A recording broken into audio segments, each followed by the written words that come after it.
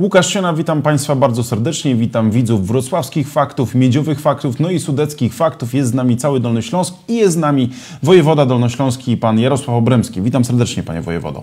Dzień dobry, kłaniam się. Witam. Panie wojewodo, jak co tydzień będziemy tak, omawiać tak zwany raport e, epidemii na Dolnym Śląsku. Czy te statystyki trochę zmalały, czy ta krzywa zachorowań na Dolnym Śląsku może nieść ze sobą coś optymistycznego?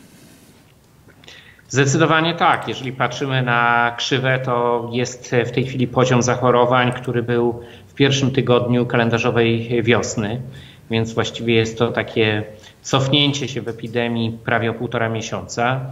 To jest pierwszy dobry fakt. Drugi dobry to jest to, że e, liczba osób, które wyzdrowiały, jest dzisiaj zdecydowanie pięciokrotnie wyższa niż liczba osób e, zakażonych. E, I to jest e, na pewno bardzo optymistyczne, tym bardziej, że już kilka takich dni mieliśmy. Natomiast to, co jest e, in minus, bo to też wydaje mi się, że warto powiedzieć, to to, że w stosunku do ilości osób, które są dodatnie, wzrasta nam liczba zgonów. Ale no, niestety jest to związane z tym, że mamy czy mieliśmy wirusa kilku mm, ośrodkach DPS-owskich, hospicjach i e, izolach i to się oczywiście przekłada na niestety na gorszą statystykę także, bo e, przez długi czas należeliśmy w Polsce do mm, procentowo w tej kategorii byliśmy jak mało Polska prawie najlepsi. Było to mniej niż 3%, w tej chwili jest 3,8%, w Polsce to jest chyba powyżej 5%, więc nadal jest lepiej no, w tej zupełnie zasadniczej e, sprawie, czyli ilości osób, którzy co prawda chorują, ale w większości zdecydowanej e, wychodzą z tego cało. Więc to, to, to nie jest dobry, dobry element. Ale jeżeli patrzymy na, na krzywą, no to gdyby odjąć zakażenia DPS-owskie, no to ta krzywa jeszcze szybciej spadałaby w dół, choć już zaczyna być w miarę stromo w dół. Tak jest. Przypomnijmy tylko e, króciutko liczby. 2141 zachorowań, ale tak jak pan wojewoda mówi, ponad 130 e, ozdrowieńców dzisiaj. W związku z tym bardzo dobre liczby. 130... Z tych 2140, 40, więcej niż 40% to są osoby wyleczone. Więc jeżeli byśmy to odliczyli, to w tej chwili chorych na e, zakażonych mamy aktywnych e, albo gdzie nie stwierdziliśmy jeszcze, że, że, że są wyleczeni, to jest około 1000 200-1300 osób. Czyli to jest mimo wszystko stosunkowo nis, niski poziom i to na pewno jest coś, co, co cieszy.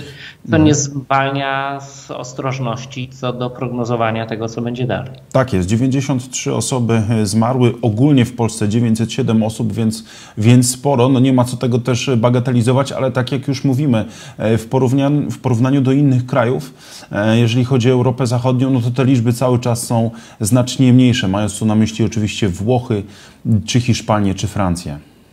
Tak, no bym powiedział, że paradoksy są jeszcze inne. To znaczy, zarówno w marcu, jak i e, w kwietniu liczba zgonów we Wrocławiu była mniejsza niż. No to, to każdy rok do każdego można porównywać, ale wcale nie były to w jakikolwiek sposób miesiące, gdzie e, w roku 2020, gdzie więcej ludzi umierało więc to też jest jak gdyby ciekawe. Natomiast no, oczywiście się zastanawiamy, czy to się nie skumuluje na przyszłość, to znaczy, że ludzie uciekali od szpitala, uciekali od lekarzy, bojąc się zakażenia i w jaki sposób będą przenosić trudne choroby do leczenia, jeżeli się mm, ujawnia tą chorobę trochę później, czy to choroby onkologiczne, kardiologiczne, udarowe. Tak jest. Y, czy to jest, mamy też dwa pytania zaległe z poprzedniego studia. Niestety nie udało nam się zadać, bo trochę się rozgadaliśmy, ale czy to jest prawdą, że wszystkie DPS-y na Dolnym Śląsku będą testowane? Jest taka, taka informacja się gdzieś pojawiła. Czy rzeczywiście tak, e, tak będzie? Tak, dzięki współpracy z Wojskami Obrony Terytorialnej po kolei DPS-y są, e, są tam robione wymazy. No, dzięki temu no, nawet w tych miejscach, gdzie nie mieliśmy żadnych objawów, stwierdziliśmy, że coś się, coś się niepokojącego dzieje. Można szybciej przeciwdziałać. Mm, no jest to duże zaangażowanie i wielki ukłon za tą pracę w przypadku Dziękuję Wojskom Obrony Terytorialnej, ale chcę zwrócić uwagę, że to, co robi WOT, to jest przede wszystkim badanie białego personelu. Natomiast jeżeli się okazuje, że coś jest nie tak przypadku białego personelu, dopiero przechodzimy do wymazów wśród pacjentów. Tak było w Lublińskim Polu. Jest y, takim wąskim gardłem, pan wojewoda o tym też e, wspominał, właśnie te zespoły wymazowe i karetki wymazowe były. Czy sytuacja się trochę poprawiła? Jak to wygląda w samym Wrocławiu, w samej stolicy województwa? Czy... Znaczy, e, Meldunki, które otrzymuję, są takie, że właściwie wszystko się dzieje na, na bieżąco. Mhm. Znaczy nie ma żadnych zaległości w laboratoriach, że także wymazy są robione e, tak, jak jest zlecenie. E, w związku z tym, jeżeli są jakieś poślizgi, to raczej one są epizodyczne i, i są jakimiś no, błędami być może ludzkimi, a nie, a nie jakim, jakimś systemowym kłopotem ale raczej nie mamy jak gdyby w tej chwili meldunków o jakichkolwiek e, zaległościach. I nawet jeżeli mamy taką sytuację, że w jakimś DPS-ie musimy mm, dokonać wymazów 400 e, pacjentów, no to następnego dnia e, w półtora dnia mamy, mamy wyniki, więc to dosyć, do, dosyć dobrze już w tej chwili funkcjonuje. Myślę, że ten czas, który, który był, to jednak był też taki czas, że kupiliśmy sobie trochę na usprawnienia organizacyjne, że te wszystkie elementy komunikacji, e, funkcjonowania poszczególnych elementów, czyli karetki i, i sanepid i szpitale jednoimienne już e, lepiej współpracują. To wszystko wygląda jakby było dobrze na, naoliwione, więc to na pewno jest jakiś kapitał, zwłaszcza jeżeli są jakieś prognozy, które nas straszą trudną jesienią. Tak jest, oby, oby nie. E, cały czas się gdzieś unosi jeszcze kwestia tej mitycznej drugiej fali, ale to może zostawmy, może uda się jej mm, uniknąć. Natomiast e, mam takie pytanie, bo mm, e, nie ma co ukrywać, że koronawirus trochę zatrząsł polską sceną polityczną. Wybory się nie odbyły, ale rozumiem, że Teraz wydaje się, że jest e, o wiele bardziej sprzyjająca jednak atmosfera. Mówi się o wyborach e, mieszanych. Mm, jak pan wojewoda myśli, czy rzeczywiście teraz już będzie łatwiej te wybory przeprowadzić? Zdecydowanie tak. To znaczy, jeżeli mamy e, system mieszany, to jest to łatwiejsze pod względem organizacyjnym.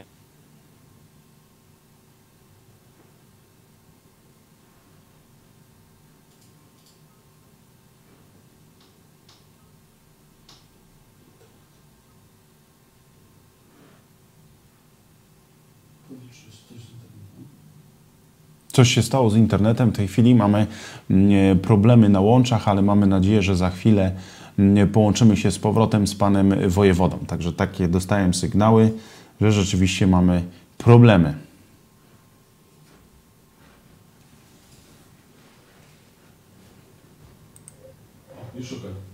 Tak, ja już jestem. Jesteśmy, tak, tak jesteśmy z powrotem. Złośliwość e, rzeczy martwych. No cóż, czasami tak jest w połączeniach internetowych, nie mamy na to wpływu. Właśnie, e, za, mówimy, mówiliśmy o tym, że zatrzęsła się no trochę. Może to jest dobry przykład, że nie powinno być głosowanie e, przez internet. no może się coś zawiesić, tak. tak, tak.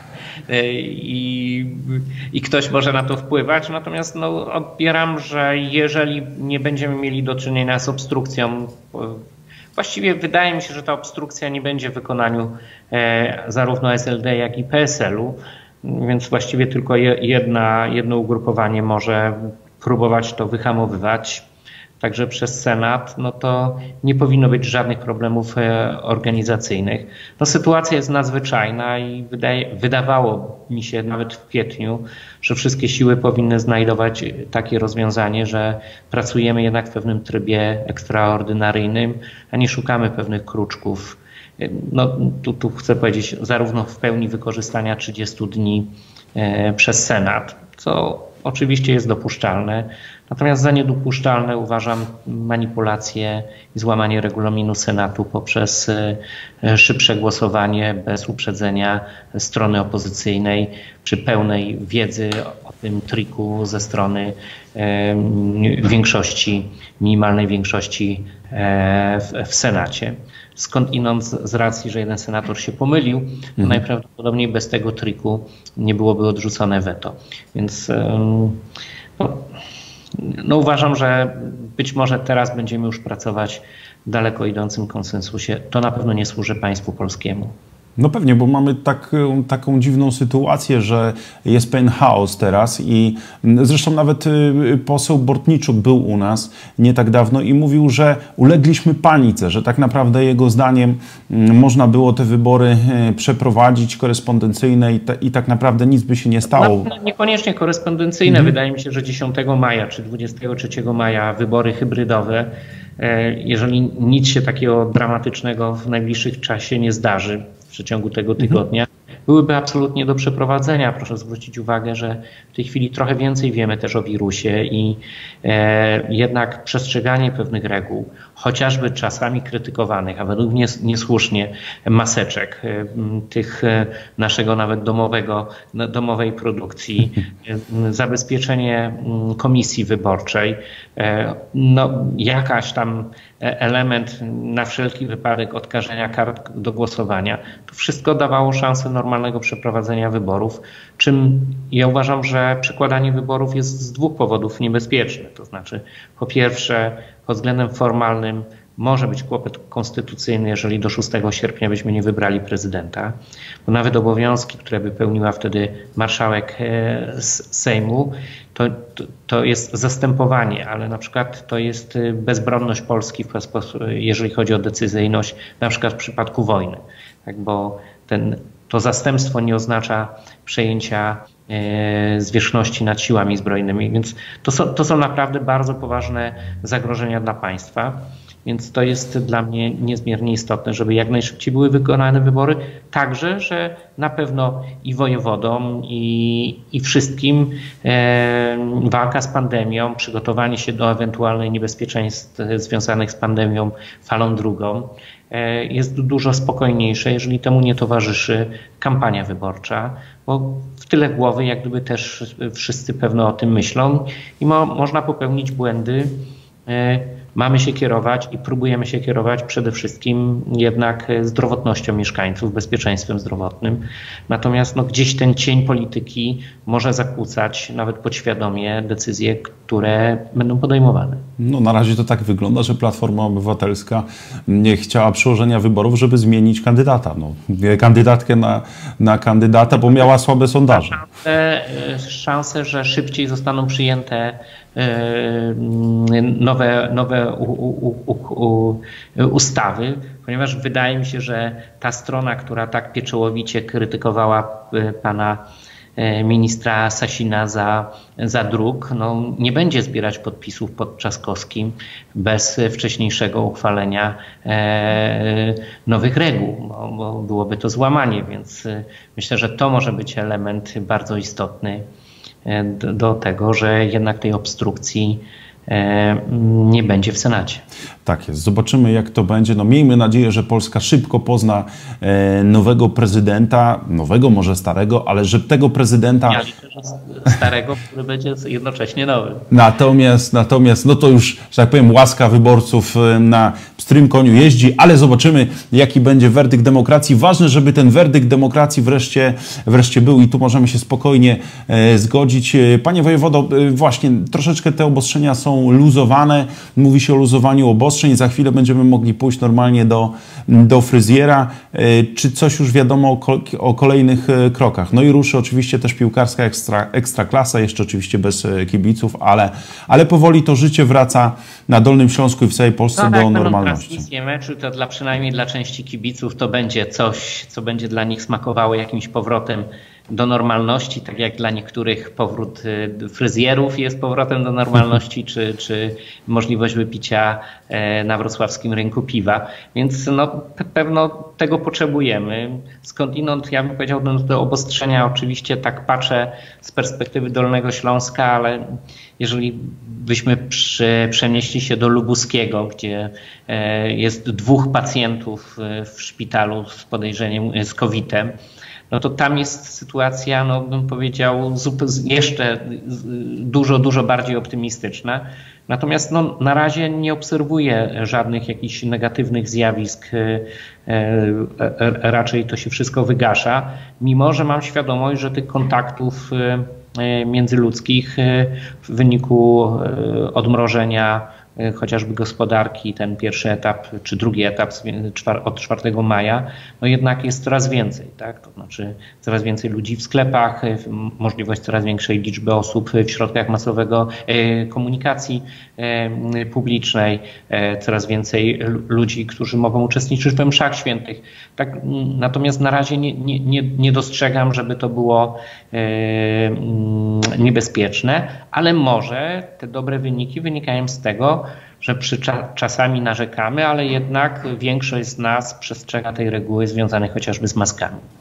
I tutaj mhm. nawet ci, którzy mają pokusę zerwać, to proszę tego nie robić.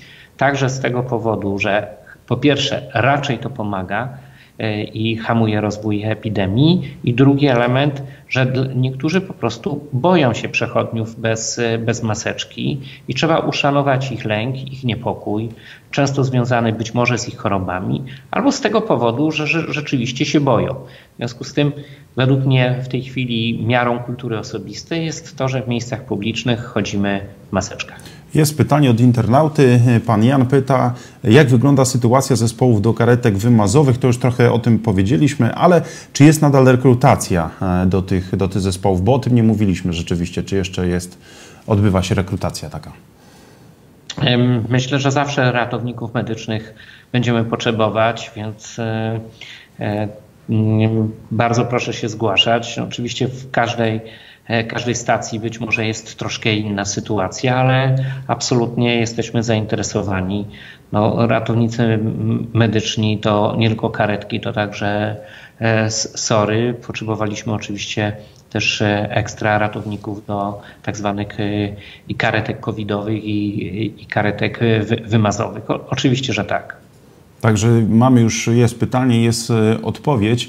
Mm, ja się zastanawiam właśnie, kiedy zupełnie życie e, wróci do normy i czy uda się mm, ostatecznie koronawirusa e, powstrzymać. Czy mamy jakieś informacje może, bo pojawiały się w mediach, że między innymi we Wrocławiu pracuje się nad szczepionką, nad lekiem, nad, e, nasi tutaj naukowcy pracują. Czy ma Pan jakieś informacje, że rzeczywiście coś w tym temacie się ruszyło, no, pojawiło? Oczywiście, że były pewne prace związane z, z no, znaczy, one polegały na tym, że za zgodą pacjentów y, niektórzy dostawali pewne, e, pewne leki, e, które były wcześniej stosowane w leczeniu, o ile pamiętamy, HIV-u, malarii i tak, innych tak. chorób zakaźnych. I jest jakaś korelacja, że to wzmacnia organizm, który już jest dotknięty COVID-em i, i, tworzy jakąś dodatkową barierę przed przejściem w tą drugą niebezpieczną e, fazę, kiedy pacjent wymaga pomagania oddechowego. Więc no, taki eksperyment jest badany, tylko proszę zwrócić uwagę, że w naukach medycznych jest, jest coś, co nam się wydaje, natomiast ta weryfikacja leków przebiega bardzo, bardzo długo, ponieważ często no, mm, może się rozwiązać z jakimiś skutkami ubocznymi, może być to pewien efekt placebo, e, mm, który, który, który mm, to, to nie jest tak, tak proste. Tak? To znaczy, mimo wszystko o tym wirusie jeszcze wiemy bardzo, bardzo mało i według mnie wszystko jest spekulacją, łącznie z tą niby pewną jesienną drugą falą. Oby jej nie było, ale pewno o niej trzeba w sposób poważny myśleć. Mm, tak jest, trzeba być jednak przygotowanym i takim przezornym, bo to życie pokazuje, chociażby no, nikt się nie spodziewał takiej skali, a jednak e, dosięgła też ta choroba, ta pandemia Polska, bo kiedyś ogląda, kiedy oglądaliśmy na początku relacje z Chin, z Wuhan, no to praktycznie chyba nikt nie spodziewał się, że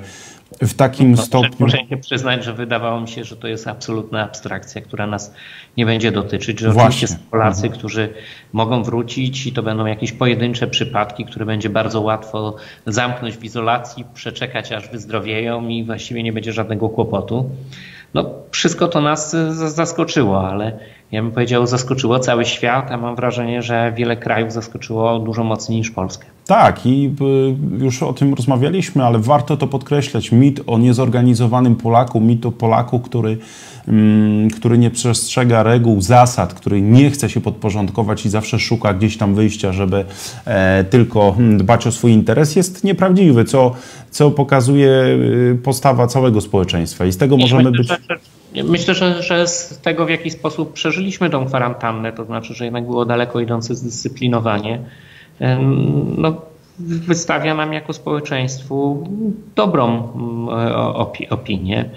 Oczywiście możemy szukać też jakichś elementów negatywnych zjawisk. One pewno, jak na każdej wojnie, się zdarzają. Natomiast y, ja raczej z postawy Dolnoślązaków, z ich cierpliwością, no przecież nie, nie wszyscy mieszkają w komfortowych warunkach i musieli wytrzymać. Uważam, że, że ten jakiś egzamin zdaliśmy. Natomiast w tej chwili jest trudniejszy moment, bo jest cieplej. E, jesteśmy już znudzeni tymi ograniczeniami, marzy nam się powrót do zupełnej normalności. Więc bym powiedział, ta nowa normalność będzie trochę jednak inna i musimy e, utrzymywać e, pewien dystans społeczny, dystans socjalny między nami. No, no, no trudno. Do, do ciepłych relacji jest w tej chwili E, telefon, a nie uścisk. Tak, albo Skype. Skype też jest e, bezpieczny, czy jakaś inna aplikacja do wideo rozmów. E, są kolejne pytania. Ja wirus, ale nie ten w dzisiejszą naszą rozmowę się wdarł. Tak, chociaż tak, jakiś taki internetowy chochlik. Mamy kolejne pytania od internautów. Bardzo się cieszymy, zachęcamy, bo właśnie po to te rozmowy są. Pan Marcin Marczewski pyta, czy jest decyzja o przekształceniu jednoimiennego szpitala zakaźnego w Bolesławcu w normalny wielooddziałowy. Nie, aczkolwiek e, będziemy powoli się zastanawiać, e, na ile, mm, jak przeorganizować e, pracę jednoimiennych, to znaczy pewno większe mamy możliwości już rozpoczęcia powolutku, nie tylko, żeby koszarowa nie była tylko i wyłącznie mhm. jednoimienna, Natomiast e, z Bolesławcem na ten temat dopiero będziemy, będziemy, będziemy rozmawiać. Ale, mhm. ale, ale prędzej czy później mam nadzieję, że to nastąpi. Tylko proszę zwrócić uwagę, że to, co w tej chwili jest zupełnie już naturalne, w, powiedzmy w 14-13 województwach e, Polski, no w przypadku na pewno Śląska nie, natomiast Dolny Śląsk, my mamy to drugie miejsce, więc jeszcze jakiś element takiej ostrożności musimy tutaj e, zachować. Tak jest. Jest kolejne pytanie. Jak się ma kultura noszenia, ma, pan Waldemar Faryński pyta, jak się ma kultura noszenia maseczek do zdrowia? Astma, nadciśnienie, duszności w maseczce, ale to chyba trzeba jakoś wytrzymać. Tak mi się wydaje. No. ja nie chcę tutaj za, za fachowców. no tak, no nie jesteśmy lekarzami. tak. To znaczy, jeżeli y, ktoś ma taką sytuację, że nawet dostałby zaświadczenie od lekarza, że tego nie może nosić, no to się nie, nie, nikt z, tego nie będzie y, negował. To znaczy, to nie chodzi o to, żeby y, przez maseczkę kogoś udusić, tylko natomiast no, większość społeczeństwa jednak nie ma tego, te, tego typu dolegliwości i zresztą no, pewno te maseczki też muszą być używane w sposób sensowny, to znaczy nie ma sensu na, e, na pustym, e, na spacerze, kiedy nikogo nie ma, e, chodzić w maseczce. No to, to jest taki element zabezpieczenia w momencie, kiedy kogoś zaczynamy spotykać, kiedy jesteśmy stosunkowo blisko. Mm, zresztą chcę zwrócić uwagę, że maseczki obowiązują także biegaczy, także ludzi jeżdżących na, na, na rowerach. To nie jest tak, że to, to, to zwalnia. Tak, czyli jak we wszystkim trzeba zachować zdrowy rozsądek. No. Trzeba wiedzieć, jak się zachować i, e, i tyle. Wydaje mi się też, że nikt specjalnie kogoś nie goni. Ja tam nie widziałem specjalnie policjantów, którzy by wręczali jakieś, nie wiem, wielkie ilości mandatów za brak maseczek. Także myślę, że też jest zdrowy rozsądek po drugiej stronie, jeżeli chodzi o służbę ale też bym powiedział, że mu, musimy tego, że policja nie ściga, nie wykorzystywać. No tak. tak? Że to, to jest dla mnie bardzo istotne, żebyśmy uszanowali lęki innych ludzi. To jest, to jest istotne. Tak, to jest moja wolność jest na tyle istotna, póki nie, e, nie, zabieram, nie, nie zabieram wolności drugiej osoby, tak? Czy nie dręczę w jakiś sposób ją, bo, bo tak, bo myślę, że warto też zaapelować, no kiedy wchodzimy do sklepu, są te rękawiczki jednorazowe, no to też warto jednak je założyć, e, bo często widziałem też już takie sceny w sklepach różnego rodzaju, że no ekspedientki może nie jakoś super nalegają, ale jednak proszą, bo dużo osób właśnie wchodzi bez tych rękawiczek już, więc no to chociażby są takie problemy życia codziennego. Tak, ja myślę, że to jest też dawanie innym dobrego przykładu. Jeżeli wszyscy stosują, to jest, e, e, to, to, to nabieramy też takiego wzajemnego szacunku do siebie jako społeczności, że jest jakieś rozporządzenie, jest jakaś prośba, umiemy się temu podporządkować. Wydaje mi się, że to buduje wspólnotę. Natomiast jeżeli każdy E, wprowadza swoje indywidualne e, zwyczaje, no to, to, to, to coś jest rozbijane, coś jest zniszczone. Teraz Pamiętajmy, mhm. że rzeczywiście osoby starsze mogą się bać i, i, i to jest uzasadniony lęk. Tak, i to też trzeba szanować. Panie wojewodo, jak wygląda jeszcze plan na najbliższy tydzień? Bo tak z tygodnia na tydzień potrafimy mm, e, tutaj ładnie opisać Dolnoślązakom to, co teraz w tym tygodniu, nad czym Państwo będą pracować jako sztab. E, no, no na pewno będzie, będzie kwestia e, analizy co robimy dalej ze szpitalami jednoimiennymi. Na pewno jest kwestia przeanalizowania i być może przyspieszenia pewnych rzeczy związanych z ludźmi, którzy mogą być już e, e, ozdrowieńcami, jak to czasami e, mówimy, żeby tych te moce laboratorium były albo przeznaczone na pewne przesiewy, czyli badania przesiewowe, albo żebyśmy mieli wszystko wyczyszczone, że gdyby się coś złego działo, to mamy całą moc E, naszych laboratoriów do, do, do walki z, z, określeniem, gdzie są ewentualnie jakieś ogniska epidemii, no bo cały czas jednak obserwujemy, co się dzieje w wyniku odmrażania. Ale z mojej strony na następny tydzień to dużo większa e, koncentracja na rzeczach już nie covidowych, związanych e, z normalnym funkcjonowaniem urzędu. Pamiętajmy, że oprócz epidemii mamy kwestię suszy i na pewno chciałbym mieć spotkanie z polskimi wodami i tutaj mam dużo postulatów ze strony gmin, gmin, gmin wiejskich, więc tego typu rzeczy troszkę będzie. Y, bardzo mi zależy, żeby przyspieszać wszystkie procesy inwestycyjne, prywatne, publiczne, ponieważ no to będzie napędzać koniunkturę, będzie dawać pracę ludziom, a więc i płace, i, i podatki te, także te na, na służbę zdrowia, więc tu chcę też e, popracować w urzędzie. No i powoli coraz większe otwarcie urzędu na te różne sprawy związane chociażby z kartami pobytu dla obcokrajowców czy wydawaniem paszportów. No, krok za krokiem trzeba wracać do normalności. Tak jest. Obyśmy wszyscy wrócili do normalności krok po kroku, ale ze zdrowym rozsądkiem. Taką możemy puentę postawić. Bardzo dziękuję. Wojewoda Dolnośląski Jarosław Obremski był moim gościem. Żegnamy widzów y, portali Wrocławskie Fakty, Miedziowe Fakty i Sudeckie Fakty. Jesteśmy z Wami od poniedziałku do piątku. Ruszamy dalej. Od poniedziałku punktualnie o 18. Program prowadził dla Państwa Łukasz Ciona. Do zobaczenia.